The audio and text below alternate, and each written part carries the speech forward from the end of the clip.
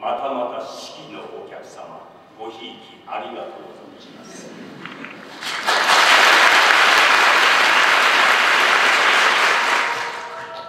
それでは皆様お次は667番オペラ座の怪人の仮面品物はこれでございます。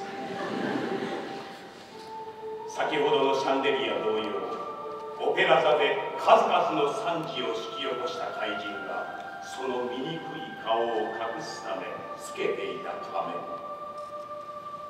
このオペラ座の地下で見つかった玉座の上に置かれていたと伝えられております。ちょっと仮面をつければ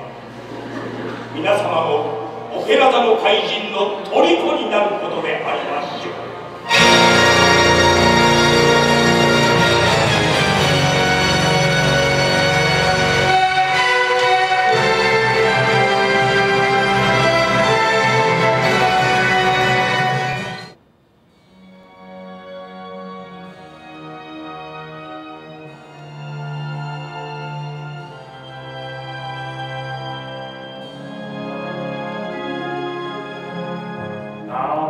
涙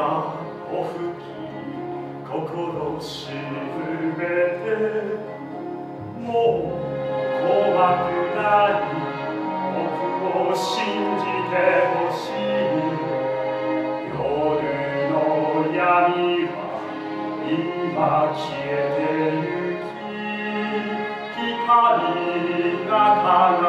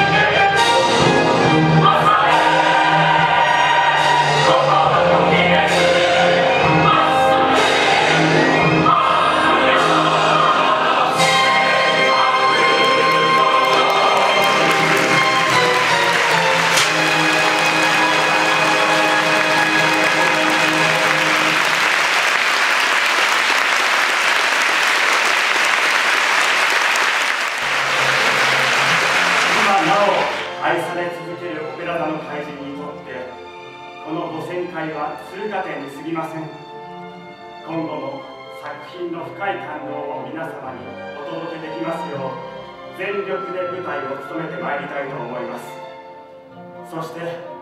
ここ名古屋で一日でも長く公演ができますよう